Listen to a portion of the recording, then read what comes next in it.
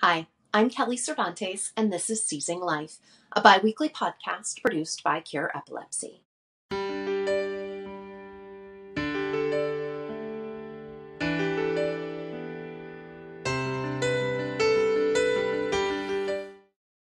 This week on Seizing Life, we present three short videos about three key areas of research on which Cure Epilepsy focuses post traumatic epilepsy, SUDEP, and refractory or drug resistant epilepsy.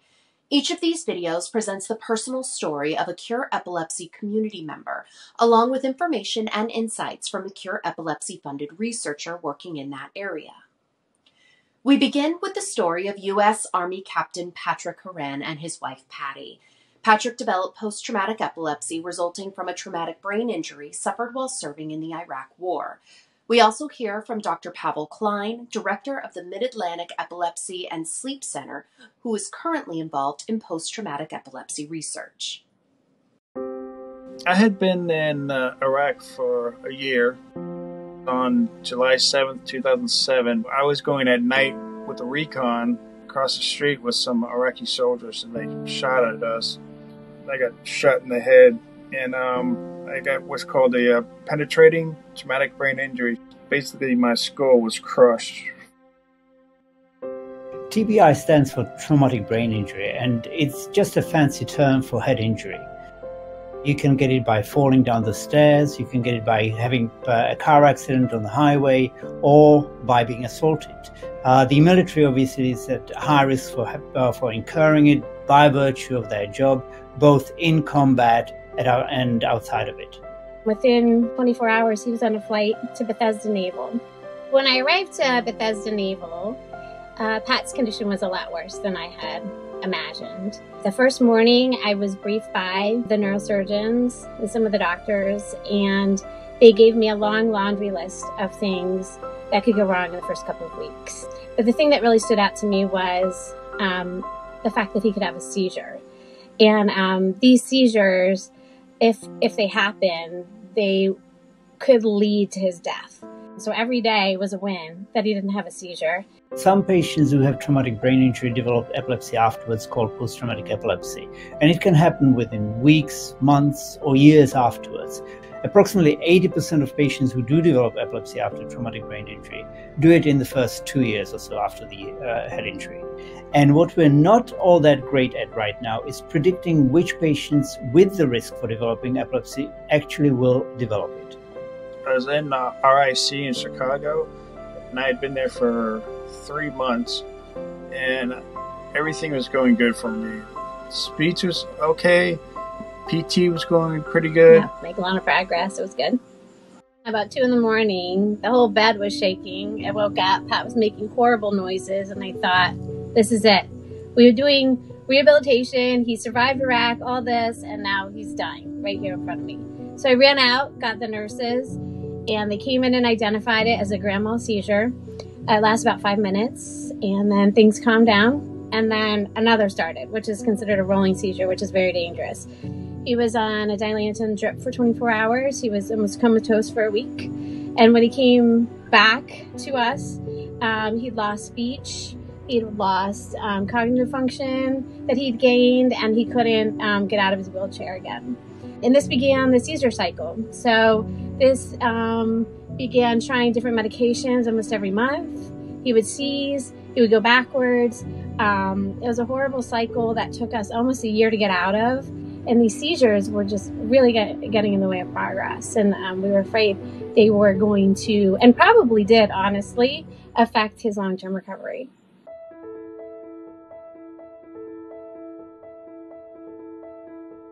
Cure Epilepsy's DoD Post Traumatic Epilepsy Initiative is a unique project in that it is team science. So it brings laboratories and clinical projects from different labs, different parts of the country, with different interests in the uh, field of uh, post traumatic injury. And they worked together. So they share ideas together, uh, they share their results, the goal of which is to better understand how epilepsy develops after head injury and how we can better predict uh, its uh, development. there's a couple of months that go by before these guys usually have their first seizure. So if they can treat them early, they might even be able to find treatment that prevents the whole epilepsy cycle. That is my ultimate goal to develop treatments to prevent epilepsy after head injury. In our project, we're looking for biomarkers that would better tell us who is at high risk for developing post traumatic epilepsy. A biomarker is an indicator, whether it be something in the blood or an electrophysiological measurement, that tells you that a disease is occurring. A good example of that are, are the blood enzymes that are used routinely for diagnosis of heart attack. So we're uh, evaluating patients with bad head injury who do have a risk of uh, developing post-traumatic epilepsy and we're looking at uh, their blood for genes and proteins to see whether those can tell us better who is at very high risk of developing post-traumatic epilepsy if we could just figure out some of these biological markers and genetic factors. It also might lead to better treatment in general, better drugs with less side effects, which would save so much pain, suffering, even death um, from these service members as they're trying to rehabilitate after sustaining such horrible injuries. Approximately 5% of all epilepsy is caused by head injury, but there's another 15% that's caused by other acute brain insults like stroke or infection. Between the three of them, about 20% of all epilepsy is caused by these insults. And we know when they happen, and if we can bring in treatment that prevents epilepsy after them, that would really make a tremendous difference uh, in uh, people's lives. I just think it's the greatest thing. They could keep going, the, the cure epilepsy and the DoD, and they can figure it out. And so people like me and other soldiers, they wouldn't have to take uh, any medicine at all, and that would be so great. That's kind of what I'm looking for myself.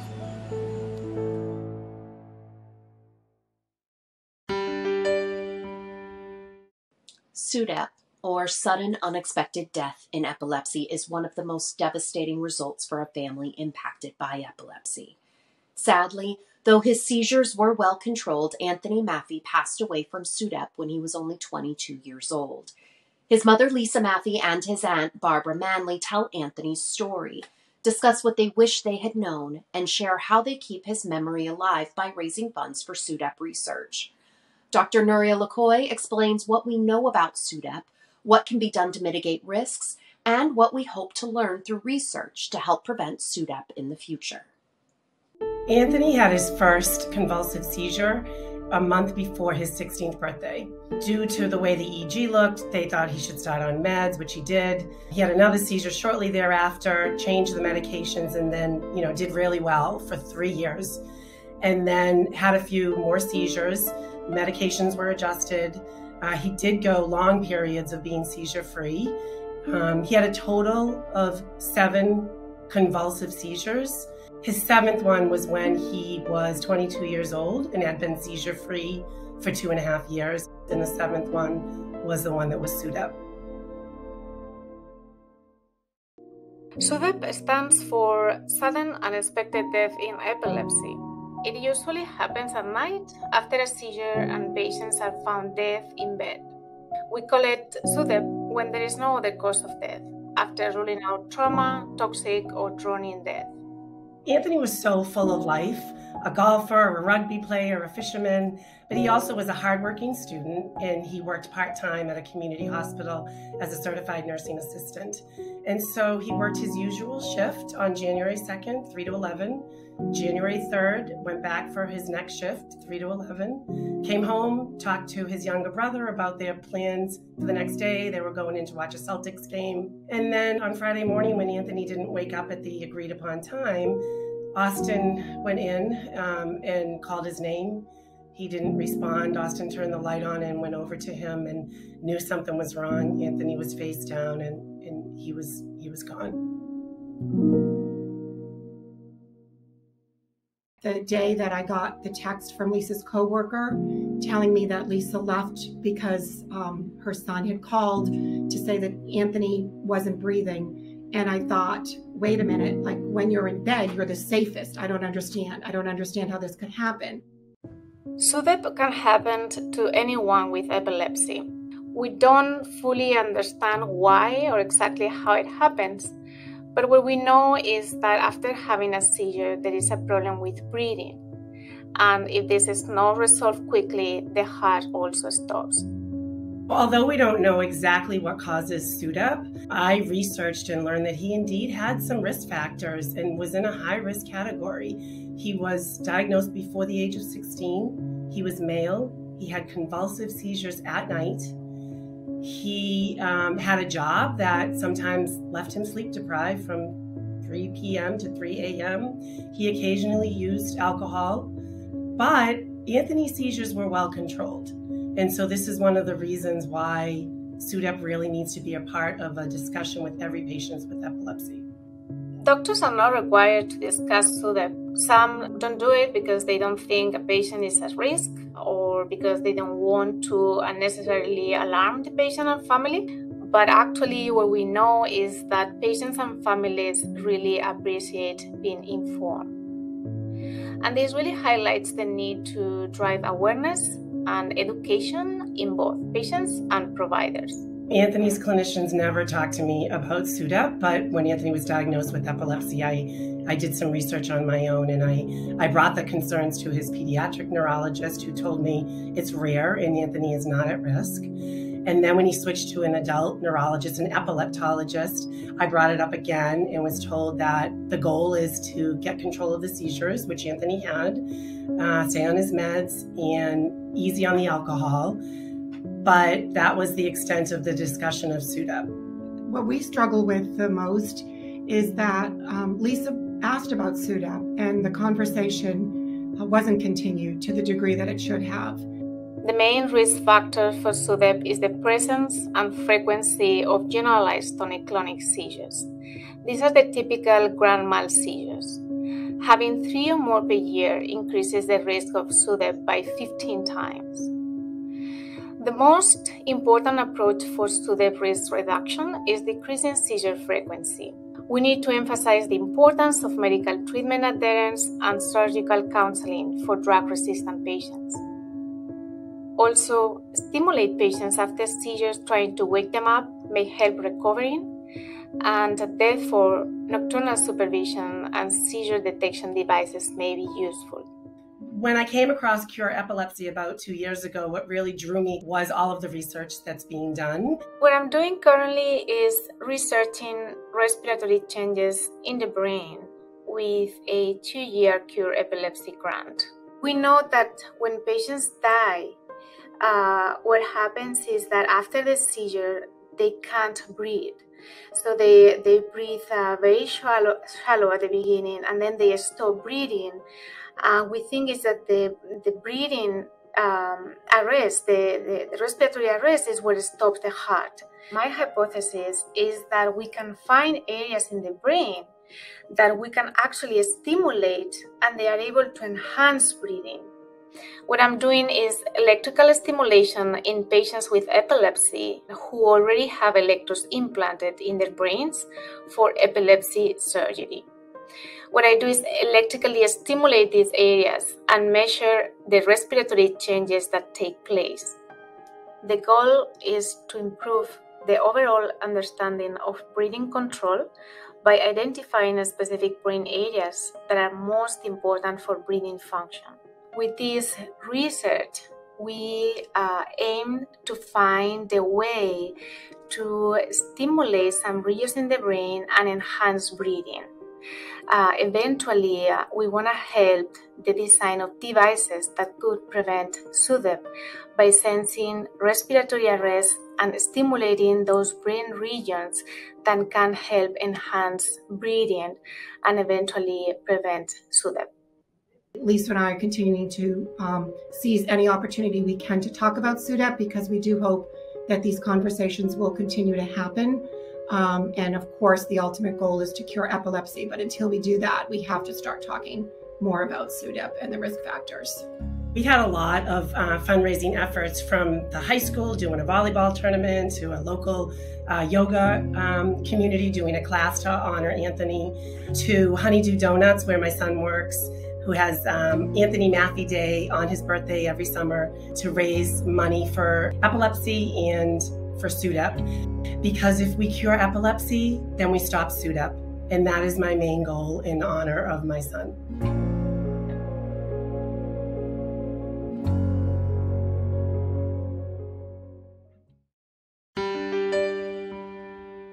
Hi, this is Brandon from Cure Epilepsy. Since 1998, Cure Epilepsy has raised over $85 million to fund more than 270 epilepsy research projects in 17 countries. Learn what you can do to support epilepsy research by going to cureepilepsy.org. Now back to Seizing Life. Channing Seideman shares her journey with refractory or drug resistant epilepsy, how it impacts her day to day, and why it's important for her to support epilepsy research. Dr. Detlev Boison provides information on refractory epilepsy and discusses his preclinical research study to understand how to block the enzyme that prevents the brain's natural seizure terminator, adenosine, from working properly. I was nine years old when I had my first seizure. My dad, my brother, and I were staying up late playing Risk, and through the windows, we saw uh, strobe lights. We all made our way to the front porch, and there was a Jeep pulled over, and a man was getting tested for a DUI. I remember him walking the line, and the next thing I remember is being in my dad's arms, pulling up to the ER. Five months after my first seizure, we found ourselves back at the hospital in November of 2003 after my second seizure. And because I had then had multiple seizures, we were given a diagnosis of epilepsy. In more recent years, we found a pattern with increased seizure activity that is resembling of catamenial, catamenial epilepsy. So I've kind of had a, a, journey with epilepsy diagnosis throughout um, 18 years. As Channing's example shows, her epilepsy started relatively benign and got worse and worse over years. So, if we could interrupt this process and stop epilepsy from becoming worse and refractory, that would make a huge difference for those affected by epilepsy. Refractory epilepsy is any form of epilepsy that cannot be treated with any of the available anti epileptic medications. And that's a huge problem because it affects around 35% of all individuals with epilepsy and then translates to over 20 million persons worldwide. My research focuses on how the brain itself controls seizures and how the brain uh, controls the development and progression of epilepsy. The key molecule implicated in both processes is the brain's own seizure terminator, adenosine. We found that reduced adenosine increases the likelihood for seizures, but also drives the process that turns, turns a healthy brain into an epileptic brain and finally to disease progression into refractory epilepsy. We've tried just about every medication to date. They all cause general malaise, fatigue, dizziness. Eventually, the amount of medication I was on, the side effects from that impacted my quality of life worse than the seizures themselves. We hope to develop a disease modifying therapy that would transform the treatment options for those affected by epilepsy. And we do this by blocking the enzyme adenosine kinase, uh, which is the major adenosine removing enzyme. Very grateful for funding through Cure Epilepsy, which uh, allowed us to perform a pilot study in mice where we were able to show that this short term treatment alone prevented epilepsy in over 50% of all test animals. I was a horseback rider prior to epilepsy. It was an Olympic dream of mine. Once epilepsy entered my life, it became equine therapy. Thanks to a fantastic support team, I am still able to ride. To continue to treat ride, I wear a the highest uh, rated safety helmet and easy release stirrups. But I also wear an inflatable vest. This vest has an air cartridge in it that connects to my saddle. So when I come off the saddle, in less than 0.9 seconds, it inflates and it protects my neck, my vital organs, and my back. While I'm very fortunate to be able to still horseback ride, it's a fight against epilepsy to get in the saddle. So now I fight to ride and I ride for a cure through an event that takes place every November called Dressage for a Cause. Our current research is a direct continuation of the prior Cure Epilepsy funded work. So we now have our own drug discovery program, and our goal is to identify novel adenosine kinase inhibitors uh, that effectively prevent epilepsy. The biggest advantage of this approach is that we can use this therapy only transiently which basically means that a few weeks of treatment uh, is enough to prevent epilepsy in its progression. And this would obviously alleviate uh, side effects and long term treatment. It's important for me to support Cure Epilepsy in its research because I started out as a straight A student with dreams of becoming a doctor and going to the Olympics. I was diagnosed with epilepsy, a word I had never heard before, and my A's went to F's. I became the patient instead of the doctor, and it is a struggle for me to get to the barn. My hope for the future of epilepsy research is that it gets the funding it deserves so we can find a cure.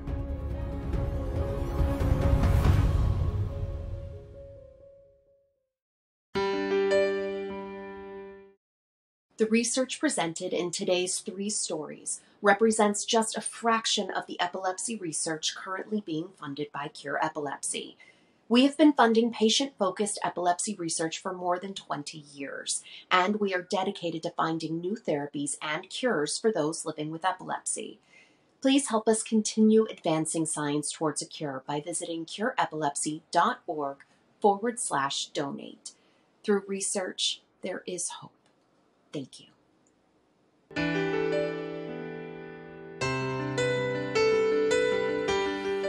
The opinions expressed in this podcast do not necessarily reflect the views of Cure Epilepsy. The information contained herein is provided for general information only and does not offer medical advice or recommendations. Individuals should not rely on this information as a substitute for consultations with qualified healthcare professionals who are familiar with individual medical conditions and needs.